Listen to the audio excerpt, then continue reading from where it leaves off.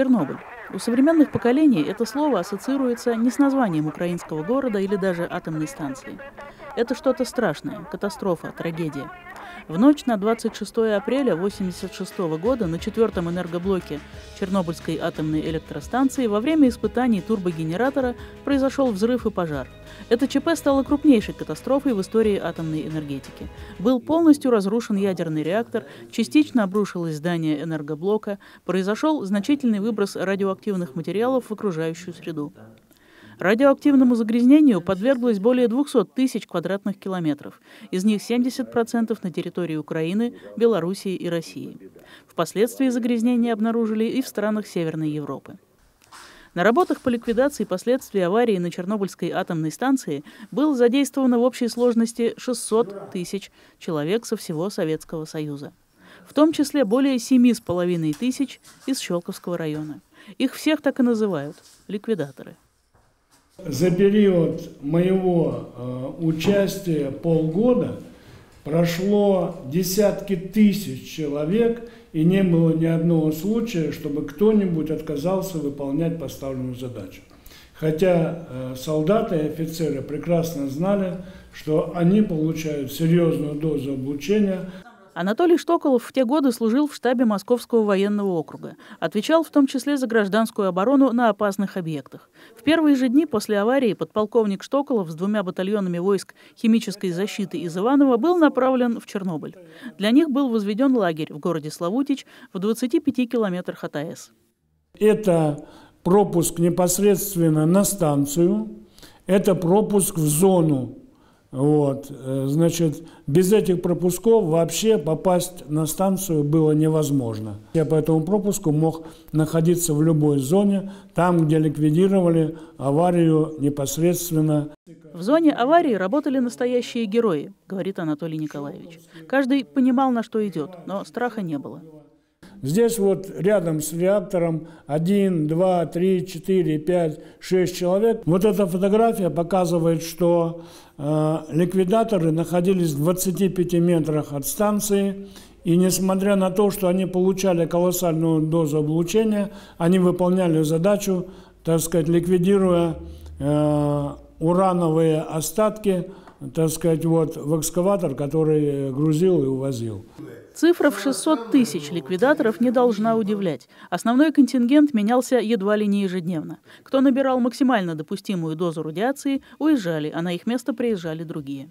У каждого человека был дозиметр, и в зависимости от того, кто уже получил дозу облучения, даже за два дня 15 рентген, он уже больше на станцию не допускался. Почему? Потому что доза 15 рентген была э, медициной определена, что она является существенной для того, чтобы э, влиять на состояние здоровья. Ну, за полгода по дозиметру-то я набрал более 30 рентген, это самая высокая доза облучения, хотя э, по признанию врачей, когда меня разместили в госпиталь, э, эта доза была э, примерно в два раза больше.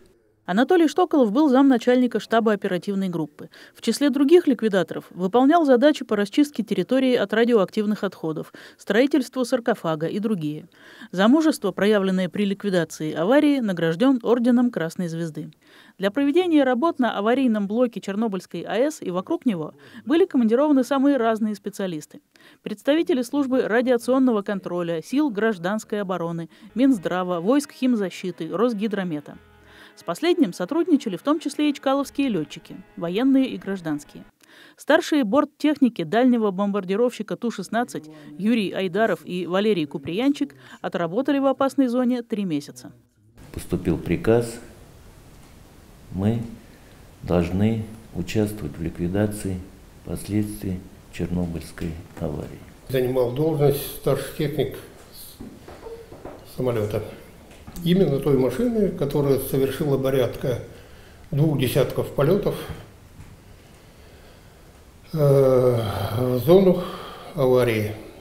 Часть полетов выполняли там, находясь в базировании, точкой родом базирования был э, Борисполь. И часть полетов отсюда Чкаловской. Задача летчиков была в дождливую погоду обрабатывать облачность, чтобы радиоактивные осадки выпадали в нужном квадрате. Мы как бы делали блокаду, вот можно сказать. По команде облако идет, опасность что, чтобы не размывало вот радиоактивные вещества, и они не уходили в реки там и так далее, понимаете, чтобы не расходилось это. И ручьи пошли куда? В реки, а там и Черное море. Цементом, обычным цементом, 840 э, стволов, бомбалюк, стояли специальные контейнеры, и отстрел производился. А в бомбалюке чисто пиропатронами, э, йодистым серебром. Летчики рассказывают, что одну машину, работавшую в зоне отчуждения, пришлось сразу утилизировать. Вторая вернулась на Чкаловский аэродром, но еще долго вокруг нее был радиационный фон. Сегодня о Чернобыльской катастрофе чаще всего вспоминают, когда в интернете попадаются жуткие фотографии мертвого города Припять. Его население в почти 50 тысяч человек было эвакуировано на следующий день после аварии.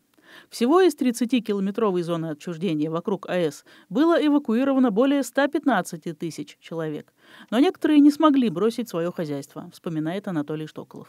Но если быть объективным, то в 30-километровой зоне осталось жить э, десяток, э, полтора человек, мы вынуждены были их обеспечивать продуктами питания и наблюдать с точки зрения их, э, так сказать, состояния здоровья. Вот за полгода мы не увидели серьезных изменений. Дедушка, которому было тогда 70 лет, прожил еще в этой зоне 20 лет. У кого-то организм смог адаптироваться и приспособиться к новым условиям. И все же Чернобыль унес очень много жизней. Не сразу, конечно, но многие не дожили и до 30. Сегодня в городских округах Щелково и Лосино-Петровский проживают всего 55 ликвидаторов.